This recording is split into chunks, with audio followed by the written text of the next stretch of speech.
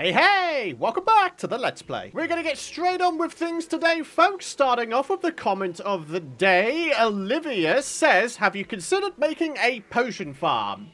Yes, that would be an amazing idea. However, in order to more effectively grow potion ingredients, we're going to need access to planter boxes. And what that means is trying to get the Dryad to spawn in. So, what that means for us is we need to take down the Eye of Cthulhu because that is what you need to do in order to get the Dryad to spawn in. So we're going to start off by going for another boss. No, it's not spawning naturally. We're spawning it in ourselves because, I mean, well, we have the ability to do so. We picked ourselves up a whole bunch of suspicious looking eyes over the last couple of episodes. So how's about we try our hand at the Eye of Cthulhu? Let's do this All right, we should probably make sure we've got a Finchy boy on us as well. We want to maximize our damage. And uh, yeah, this should be relatively straightforward. In my experience, if you can take down King Slime, you can usually take down the Eye of Cthulhu as well. Not doing too bad so far. However, we do need to be making sure that we're still within range of our little regenerative campfires. So, yeah. Alright, 3,900 health. Things are looking good so far. And while we do this, my friends, I do, of course, want to say an enormous thank you for all of your lovely support throughout this series so far. I really appreciate all the support in the form of the likes, comments, and subscriptions lately, my friends. Of course, if you want to continue supporting this series, dropping a like on these videos is by far the easiest way to show your support. Hit the subscribe button and don't forget to ding that bell if you don't want to miss out on my future content. If you do want to go on further with your support, though, you can head on over to pythongb.com slash PC to check out my range of Apex gaming PCs. If you're more in the market for some Terraria merch, though, you can head on over to Terraria.shop and use code Python for a whopping 15% off. Here I am trying to do my normal intro, and uh, this guy's getting a little bit angsty. Ah, jeez. All right, 1100 health, though, my friends. We're not doing too bad. It's usually the last 500 or so health. That's when things start getting really bad. So here we are, 800, 750. Oh, snap. As long as we stay on this platform, we might be kind of okay. Oh, no, we're getting hurt by regular eyes here. Oh, jeez. 300 health. this is getting too much, man. Oh, my God. 100 health. Uh, I mean, oh, oh. Wow, we actually just did that. Excellent. You know what I'm feeling like we should do right now? Let's do it again! Let's see if we can't take this guy down a, a second time. Let's try and get this guy back over to our base area because once again, our campfires are here. They're not all across the world, not just yet anyway. So sticking nearby a base is a good way to go. Now, needless to say, aside from having the Dryad be able to spawn in, there are other benefits to taking down the Eye of Cthulhu nice and quick. Like, we can get ourselves Demonite slash Crimtane ore, so we can make ourselves a nice bow, maybe some nice upgraded tools. Upgraded tools means that we'll be able to build a lot easier and a lot more effectively. So, yeah, very, very good stuff. Getting nice tools early on is definitely a good thing indeed. So, as much as some of you guys may be worried about me, you know, quickening up the pace of the series, believe me, I'm really not. Alright, the final thousand health or so just gotta try to not get hit a whole bunch. And actually, I completely forgot I have access to triple jump. So maybe I should do myself a favor and just, like, jump a bit more. uh, it doesn't matter all that much, though, because, ladies and gentlemen, we've just done it. Easy. Easy. When you've been playing the game as long as I have and you've done as many playthroughs as I have, Master Mode legitimately feels like normal mode.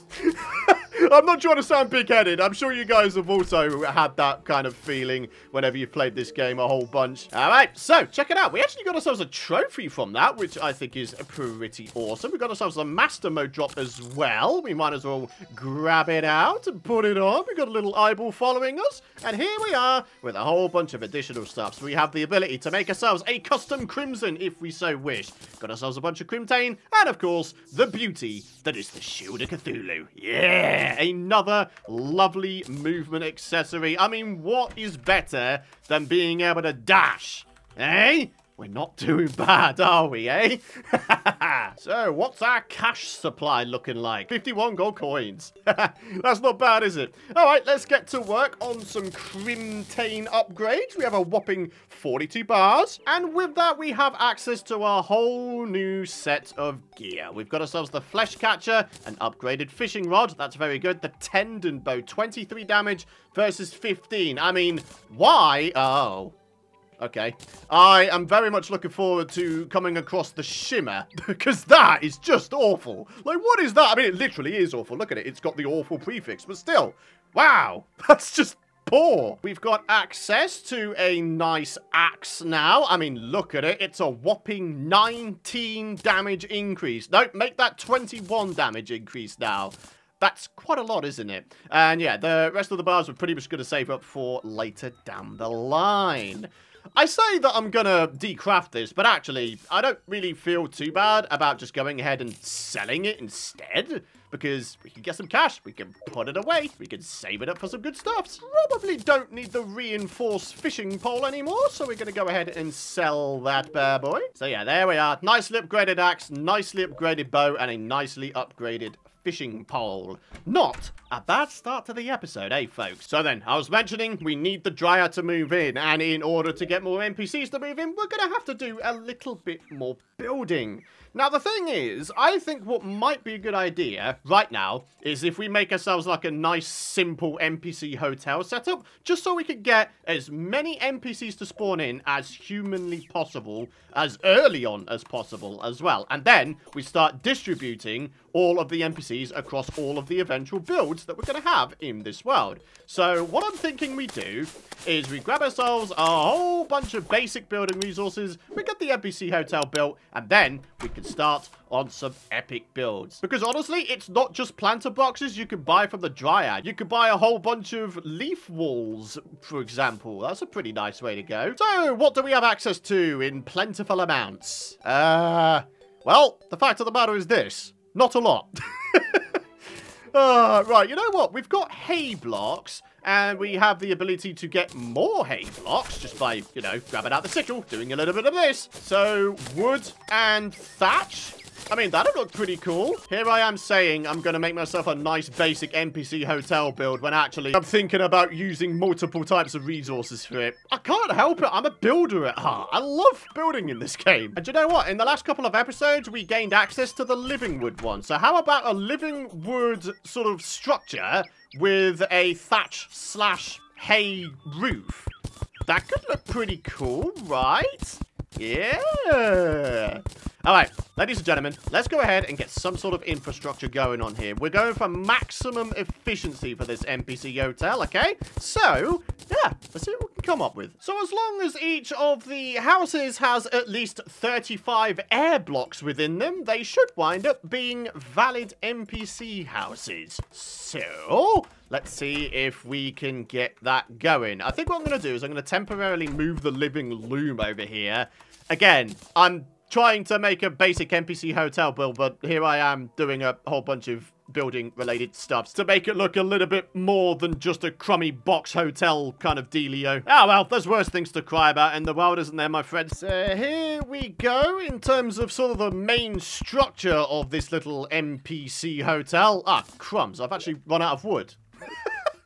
Well, now, that kind of sucks, doesn't it? But the good news is we don't actually need a great deal more. I just need to sort of finish off the structure, and then we get the little thatch roof on it. And then from there, we could start getting ourselves some background walls and a whole bunch of other stuff that we need. It's very possible that we might wind up repurposing the NPC hotel for something else later down the line. Only, you know, once we have the NPCs spread out all across the world, the little hotel here will probably lose its purpose. So maybe we should think about what this build could become in future. Maybe like a little collection place. Maybe we can store all of our master mode drops in there for example. You know, something like that. Here we are, chopping a bunch more wood. What are we up to? 400? Yeah, that should be more than enough to be getting on with, my friends. Uh, right, let's go home and get this thing going again. Only I realized I didn't actually just need wood for the infrastructure. I needed wood for the background walls as well. Only, look, this requires wood. Even though this is a leaf, it requires wood. Time to secure this hotel with just a few doors. Then we're going to go at it with a few bits of lighting. Some tables and chairs just so they've got some furniture to sit on and do stuff with. Ooh, a dresser. That could be quite a nice idea. With the dresser, we can use it for storing a bunch of vanity items. That's a pretty cool idea, huh? Turns out we have access to hay walls. I am very interested to see how these look alongside some of these other wooden type background walls. I think they'll work quite well together, but we'll see for sure in just a minute. All right, let's see how these look. Uh, do you know what? I actually kind of like them. And of course, as we continue to fill up these NPC houses, NPCs should start spawning in when the next daytime rolls around, that is. Unfortunately, I think it's only just become nighttime, so we might be waiting a little bit of time before we get NPCs to spawn in, but... Uh, Never mind. I guess we'll get there eventually, eh, folks? What we should probably do is ensure that these are actually suitable. Yeah, looks like it, doesn't it, folks? All nine of them. Wait, that one's missing a table. Oh, yeah, of course. As much as there's a living wood loom there, there isn't a crafting table of any kind. So, there we are. We got there in the finish, didn't we? Good grief. There is a small army out here. Hang on a minute. We need to get rid of this invasion. Yeah, get out of here, all of y'all. So, since we seem to be going for a kind of a semi-barn aesthetic, why don't we go full barn? How's about we add a nice hay roof to this thing? I'm thinking like a, a very gradual semicircle kind of deal here. Here we are, a roof like this. This is what I was after. So, yeah, this is an NPC hotel which has actually somehow become a barn. oh, dude, I love this. Right, so what do we think we should have as the background wall up here? Maybe we just go at it with the straw slash thatch slash whatever the devil this stuff is first. Maybe we can add some more stuff to it later? Although I don't know, I kind of like the proper attic feel that this is giving right now. So, yeah? How about it?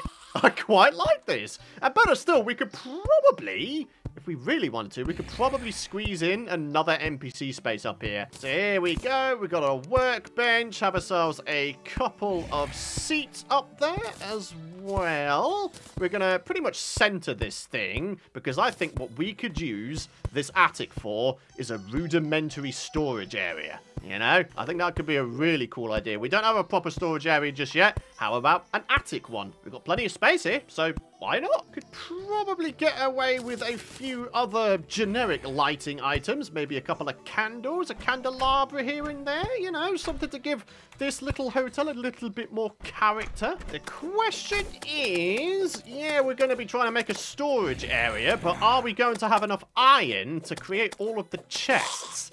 I guess we'll find that out once we take down this invasion. The good news is, regarding hostile mob spawns, is when we do have the NPCs all spawned in and living here in perfect harmony, then, uh, yeah, we should have basically negated all hostile mob spawns. Ah, good news, my friends. Lots and lots and lots of iron on the go. Haha, you love to see it.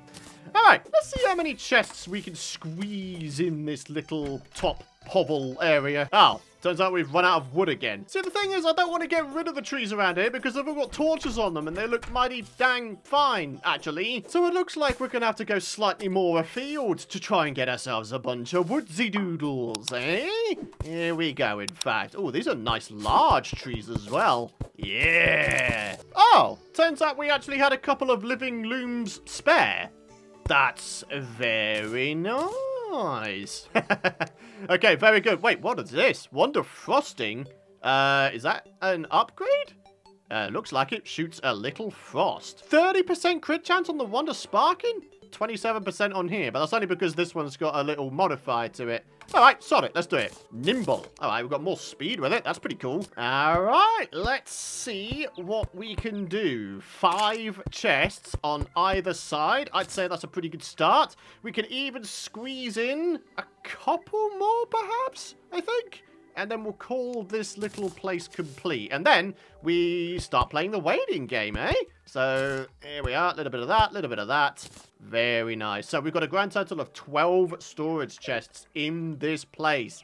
That's not bad, is it? We could probably squeeze in a few more just sort of dotted around this hotel as well. So let's have one down there, for example. Maybe one down there. Maybe we could also, I don't know, squeeze in some other bits of furniture. That would be quite a nice way to go, I think. You gotta be kidding me. The traveling merchant is on the Sky Island way over there. Of course. I don't know what to tell you. Why spawn up there? You need to go back to business school, Shipton. The vast majority of folks are down here at the main base area, and yet you think it's a good idea to spawn up there. I mean, I mean, what kind of custom are you really going to get up there? This guy is going to, what, throw fish at you? And then the slime? What the heck is that guy going to do for the traveling merchant, eh? I don't know. All right, what other bits of furniture do we have to work with? Solidifier? We've not placed one of those just yet. Angel statue, just because, I mean, why not? The heavy workbench. Ah, yes, that is going to be very, very useful, isn't it? All right, let's go place these bad boys down, and then I think I'd be pretty happy in calling this place complete. Oh, would you look at that? There's the Dryad. We got her, folks. We got it. All right, let's make sure. Oh, nah. I bet it's the chest that's making it non-valid. Usually winds up being the case, and there it is. It is the case. Ah. All right, what about now? Still suitable. Okay, very good. Still suitable. Still suitable. Not valid. Almost certainly because of too many chests. So I guess we're going to have to get rid of one or two. Still valid? Yep. Still valid. And still valid. Okay, right. We should be okay. So then, my friends, the whole reason we made this NPC hotel was for these bad boys. Very, very good for growing potion ingredients on. And, well, I mean, I don't know. Do we actually have, like, every single potion ingredient seed already? I don't think we've been doing too bad with that because we've been grabbing herbs all over the place. Moonglow, deathweed, all that kind of stuff. So, in here, what have we got? There's the moonglow. There's the deathweed, blinky plant, fire blossom. Uh, what else have we got? Waterleaf, Shiverthorn, and Daybloom. That's all seven? We've already got all seven kinds of potion ingredients that you can grow. That is absolutely amazing. So that means in a future episode, we can make ourselves a whopping great greenhouse build of some description. We can grow all of the potion ingredients here. That's going to be so cool. I always say, the earlier you can get yourself a potion ingredients growing area, the better things are going to be for you in the future of your playthrough. There's nothing worse than not having potion ingredients to make potions with come late hard mode. Like, you just don't want that to ever be the case, because that just sucks. All right, check it out. The Demolitionist is now here. I wonder if we could potentially get some more NPCs. We've got, what, the Merchant, the Guide, we've got the Demolitionist, Dryad, the nurse. Uh, we could probably get the little guy to come down here, actually, as well. So let's get you up here. And we've still got a whole bunch of spaces, even still. Here's the thing. If we were to pop into the Crimson and break ourselves one of the Crimson Hearts, we should be guaranteed a gun. And by having a gun on us, we'll be able to get the arms dealer to move in. And I think that would be a very good idea. So here we are. We've got ourselves a bunch of bombs. All we have to do is get to the Crimson. Ideally without dying. Although what we should actually do is probably go see the Traveling Merchant. I'd very much like to check out what he's selling. I just hope that we can get there in time before he despawns. The Painter has arrived. Yeah! Every Terraria builder's best friend. Alright, here we are. Still early afternoon in game here. What have you got for me, buddy? Uh, oh, DPS meter. Okay, this was worth the journey then. Very good. Another informational accessory for our arsenal of well, information and accessories. the extendo grip, that's going to be quite nice to have as well. We can make a bit of a start on trying to get the Architect Gizmo pack or whatever it's called. So yeah, very, very good. I think we're just about good to go for our goal of trying to get the Arms Dealer. Ah, the Zoologist is here as well. If we really wanted to, we could grab ourselves our first ever whip of the series. Uh, provided that she's selling it and we've got the requirements in order for her to sell it. All right, here we are. All we got to do is get down into this place, ideally without dying. We're going to get ourselves a bunch of sticky bombs in preparation for this. So here we go. Time to do a little bit of blowy uppy probably need to do another one even still. Only we can't actually mine the stone, you know, in the normal way with the pickaxe just yet. So here we go. What do we got? We've got the Undertaker, and we've got ourselves also the Crimson Heart. Not too bad. We've got our first light pet of the series. So with the Undertaker in our inventory, we should be able to get the arms dealer to move in. So yeah, once again, just a case of playing the waiting game. Wow, that really didn't take very long, in fact, at all. Hey there, Tyrone! And there it is, the almighty mini shark. You gotta love this bad boy, like seriously. After all of the years this item has been a thing in this game, it's always been a very, very good weapon to have early game. So, yeah, we're not that far away from being able to purchase it, but it goes without saying, we could get cheaper prices if these guys were all scattered along the world and they had maximum happiness, but Ah, well, I think we're still going to buy the mini shark just because why not? When the time comes, that is. So then, lots of NPCs on our world. A lovely new NPC hotel with a nice little storage attic room. I don't think we've done too bad today, folks. A nicely rounded episode. We've done ourselves a bunch of building. We've taken down another boss. I'm feeling pretty accomplished today. So, ladies and gentlemen, that is going to wrap it up for today. Thank you so much for watching. If you guys have enjoyed today's episode, and of course you're excited to see more, do be sure to head down beneath the video and spend a second to drop a like if you haven't already. Hit the subscribe button and don't forget to ding that bell if you don't want to miss out on my future content. But for now, thanks for watching. Have a great rest of your day. Thanks for all of your lovely support. And I'll see you guys in the next one. Bye-bye.